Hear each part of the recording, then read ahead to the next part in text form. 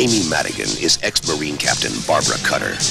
Everything she trained for, everyone she loves, is about to be destroyed. Somebody killed, no, murdered my husband. They're treating me as if I were the criminal. Mayday! This lady's savage. We're going down. I've been authorized to take over this investigation. It's now a military matter. Barbara, the whole thing's got to be a damn setup.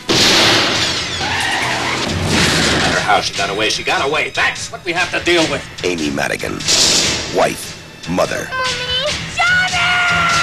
ex-Marine, caught in the middle of a conspiracy that exploded her world. They left her no choice. She's giving them nowhere to hide.